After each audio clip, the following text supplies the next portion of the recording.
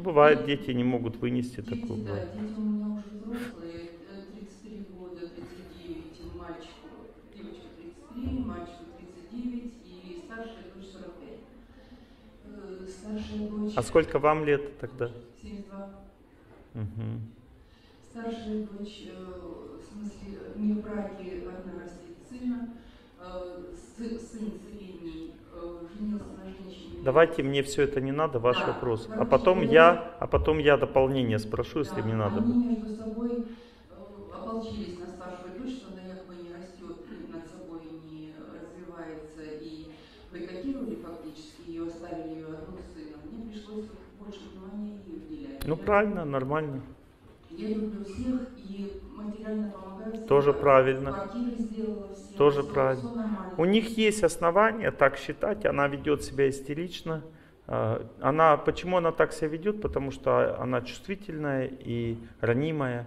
Ну, как бы причина все та же, неправильный образ жизни. То есть она перегревается, у нее психика перегревается, поэтому она так настроена. А у них очень категоричный характер у обоих, у других двух детей. И, ну, это их судьба, они уже будут дальше с этим характером как-то То жить. невозможно. я не вижу, что это сильно большой конфликт. А этот конфликт идет на фоне того, что они ее вывели из равновесия, и она начала истерить. И они пошли на принцип просто, оба.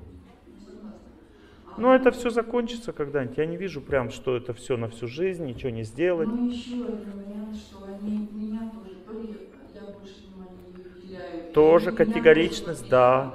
Да, категоричность по отношению. Да. Категоричность есть по отношению к вам. Ну, вот так. Молитва. Молитва. Вот смотрите, я вчера вам говорил, если то-то, то то, то природа, да? Если концентрации нет, работать не можем, чувствительность повышенная, ругаемся, сил нет быть вместе, природы не хватает. Теперь, если на работу не можем устроиться, если не можем выйти замуж, не можем а, найти себе команду какую-то, значит нужно учиться служить людям. А если я не могу что-то преодолеть в жизни, это ваш случай, тогда контакт с Богом. Ну, то есть вы не можете преодолеть. Вот это навалилась судьба, Я называется. Я принимаю так- их такими, какие они есть. Но мне немножко как-то непонятно, почему они так отвернулись от меня какой-то. Потому что так действует судьба. Вот плохой период наступил, они отвернулись. Пройдет, пройдет год, полтора где-то, и они повернутся назад. Потому что будет другая судьба. Если вы хотите победить эту судьбу, нужна молитва. Если вы сейчас хотите, чтобы они повернулись, нужна молитва. То есть вот вы принимаете их, это факт, но они вас не принимают. Это что значит технически, если говорить языком судьбы? Первый круг судьбы вы победили, то есть в вашем сердце по поводу них более-менее нормально. Между вами связь нарушена, и у них в сердце плохо по отношению к вам. То есть вы молитесь, первый круг жизни, судьбы совсем заканчиваете, у вас спокойно вообще в сердце по поводу них. Сейчас не совсем спокойно. Вы себя просто контролируете. Второй круг судьбы означает ниточка между вами. Ниточка налаживается между вами, и вы начнете с ними общаться. Но они при этом будут немножко к вам категоричны. А третий круг судьбы это у их сердца меняются по отношению к вам, и все отлично становится. Это просто чисто вот э, надо знать, что делать. То есть одна из целей моих лекций это людям дать какие-то системный подход к жизни. Ну, чтобы примерно представлять, что происходит. Потому что большинство людей вообще не понимают, что есть плохие периоды жизни. И вот это классика, кстати, жанра. У меня с моим ребенком было то же самое. То есть в какой-то момент, бац, ее переклинило. Кстати, в это же время у меня тоже было очень сильное психическое напряжение в девятом классе.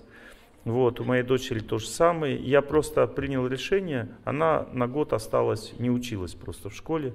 И потом пошла дальше, доучилась спокойно, и все, она пережила этот год спокойно. Вот, я принял такое решение, потому что я увидел, что у нее психика может быть сорвана просто, она может сойти с ума от на- напряжения. Вот, а, люди чаще всего думают, что это такой человек. Вот понимаете, вот допустим у человека пошло вот это вот напряг внутренний. А, Первый вывод, мы с ним жить не сможем.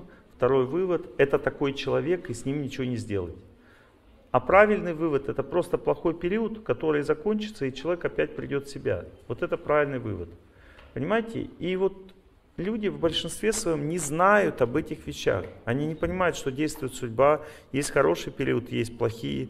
Они все это воспринимают буквально. Вот хороший период начался, вы говорите, хороший человек, с ним можно жить.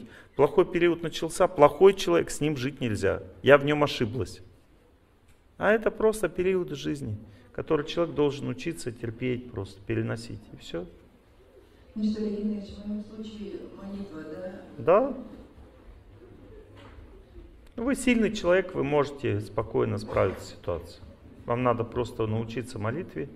Вы и так как бы своей внутренней силой побеждаете.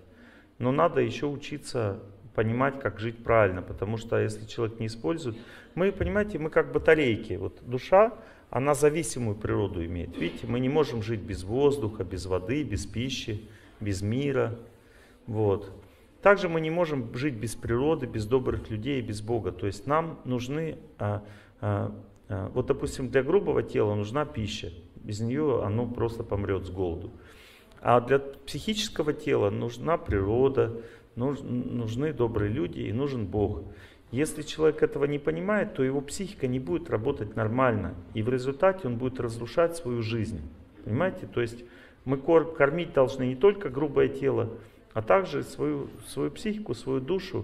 То есть мы должны наполнять а, той силой, которая нужна для жизни. Поэтому надо, большинству людей надо менять просто образ жизни. Нужно стараться обеспечивать свою энергетику всем необходимым для нормального существования. Иначе как жить?